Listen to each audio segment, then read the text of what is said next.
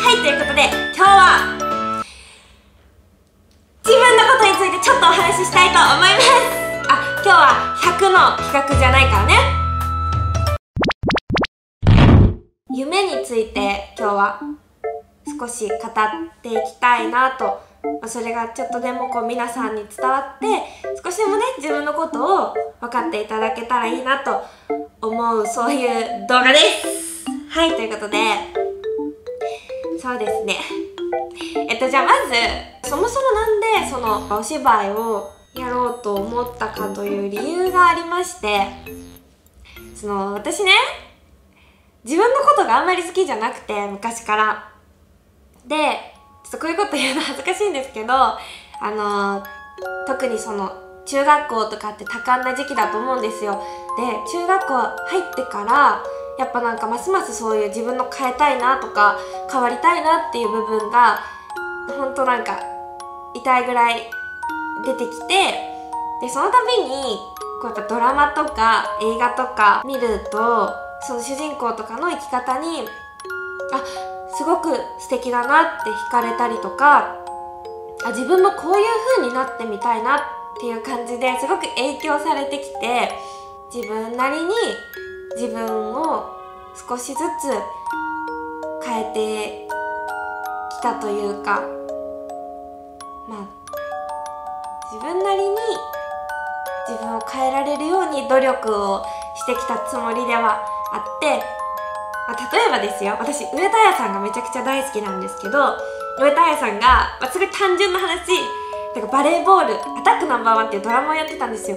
でそれを見てバレーボール始めたりとか「エースを狙え」っていうドラマをやってるのを見てテニス始めたりとかすごい極端な話ですけどそういう風にね影響を受けたりとかしていてでも今度はなんか自分がその影響を与える側になりたいなとすごく思ってお芝居やりたいなっていう風に思い始めました。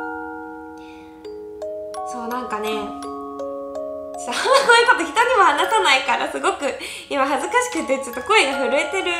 なんか思い返すとなんかちょっと声が震えるんですけどなんだろうな。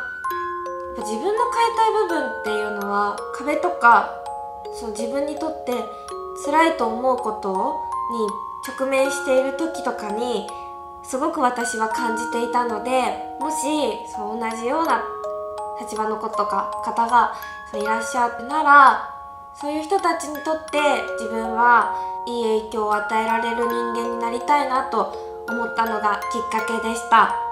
やっぱ演技やってると自分の見せたくない部分を見せないといけなかったりとかそういうのが無意識に出ちゃってたりとかするわけででもなんかそういうのもたまらなく好きだったしなんかすごく人間臭いというかなんか、うん、一つのね脚本でもやっぱ違う人が読むだけで全く別の解釈になったりとかするのもすごく面白かったしで、まあ、何が言いたいかというとですねお芝居がめちゃくちゃ好きなわけなんですよ。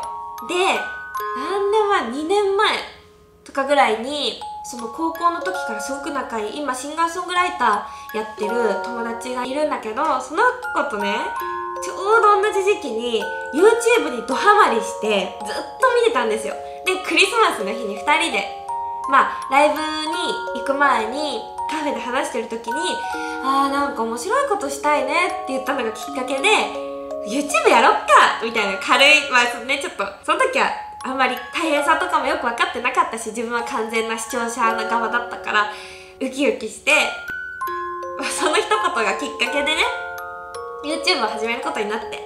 YouTube ただ単に面白いことしたい。それは確かにきっかけだったんですけど YouTube を使って友達も私ももっとたくさんの人に発信していきたいねっていう気持ちがすごく強くてそこからいろんなご縁があったりとかして私は今こうして「ボンボン TV」に出演させていただいていて少なくとも昔よりかはさんの方に例えばこう動画で一本進んでき上げるにしても見ていただける機会が増えてうん。でもやっぱり全てを手に入れるというのは無理があってきっと。私は結構欲張りだと自分で思っているので何かを諦めるっていうことにすごくためらいが昔からあって何かを途中でやめたりとか捨てたりとか手放したりとかでも本当に自分がやりたいことをつかむために本当に自分がやりたいことに近づくために何かを手放したりすることっていうのは本当はもしかしたらすごく大切で手放す方が勇気がきっと言ったりもするしあー何言いたいかちょっと言葉がまとまらない。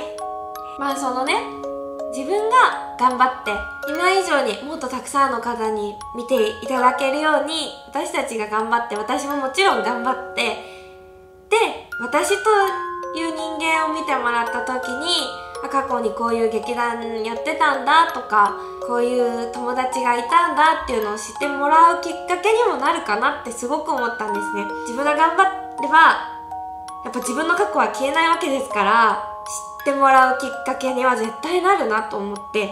でね将来、まあ、将来の目標みたいなものでいつかまた舞台立ちたいなとも思うし映像にもチャレンジしたいなとも思うしそれこそもっともっと頑張ってテレビドラマとか映画にも出たいなっていう目標があったりどんどん枠を超えていろんなことにチャレンジしていきたいなっていうのが今の自分の目標です、うん、ちゃんと伝えられたかな？なんかじゃああのダメですね。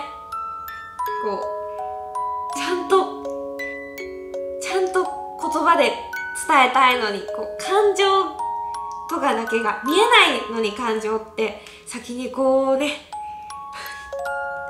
っていうわけでね私が言いたかったのは皆さんに少しでも自分のことを知っていただけたらいいなっていう思ったっていうのとあとはちょっとめっちゃ恥ずかしいんですけどもう語ってきちゃったので自分にはこういう目標があってこういうことやりたいなとかっていうのとやっぱりうーん何かをこう手放したからってそれって絶対マイナスかって言われるとそうじゃないっていうのとめちゃくちゃ怖いと思うんですよ何かを手放すことって、ま少なからずとも私は怖かったですしでもそれって別に悪いことなんかじゃなくてもはや正解なんてわからないですし誰にも。自分が選んだ選択肢の中で必死に頑張っていけばそれがもしかしたら正解になるのかもしれないしと思った次第です。あーめっちゃ恥ずかしい。私あの努力は必ず報われるとはあまり思わないです正直。やっぱり報われないこともあると思います。でも本気でやれば絶対自分についてくるものっていうのはあります。それは目に見えるか見えないかわからないけど絶対あると思います。だからこうくじけそうになっても壁にぶち当たっても自分が本気でやりたいことなら自分が好きなことならとことをやってみてほしいなと思います。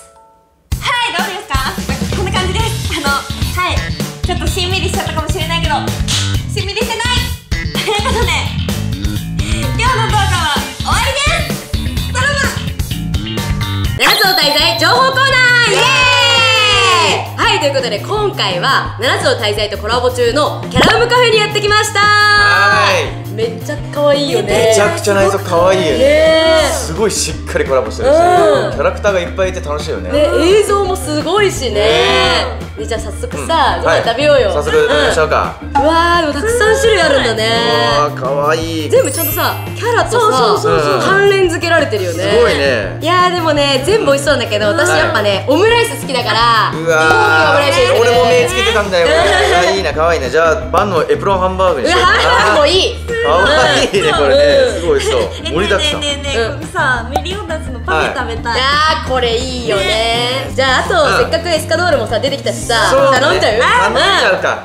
うわーすごいね。うわす可愛いねやっぱめっねちゃ美味しそう。結構意外とでかいねこれね。え。ねえねえしかもね、はい。今ならメニュー一つ頼みにつきおう。1枚ブロマイドがついてくるんだって。見てみて。いやーでかい。めっちゃかっこいいね。存在感よ存め在感。っちゃ可愛いよねこれは嬉しいね。ねえ。じゃあ早速ね冷めちゃうし溶けちゃうから食べていこうか。食べよう食べよう。あやばいやばいやい。ただきます。やばいどっから食べようちょっとまあ崩すのがちょっと心苦しい。う。うわでもやばい。おー万能エプロンからいただきます。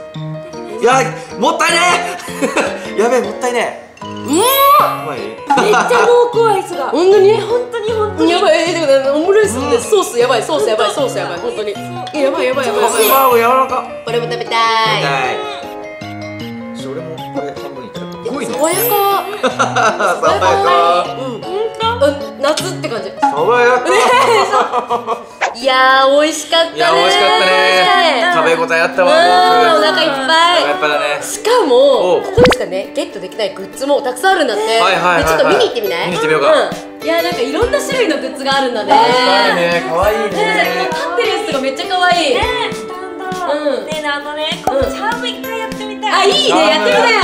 誰狙いでいくじゃん？メリオダスおお出るかなさあさあさあ。ますよ。はい出てあであーあーこれが出てはい。ドンエスカノールじゃん。エスカノールじゃん。おおよかったじゃん。いいじゃんいいじゃんはいはいはい。ね。新キャラが。ね。はいということでねキャラメルカフェめっちゃ楽しかったね。楽しかったね。もう料理も楽しいしこううん。いうガチャとかも楽しかったね。可愛い。しね。うん。はいということで皆さんもぜひぜひ遊びに来てみてください。それではまたねー。チャンネル登録はこちらから僕たちに実験検証してほしいことを募集中です。オファーしたの概要欄からできます。よろしくお願いします。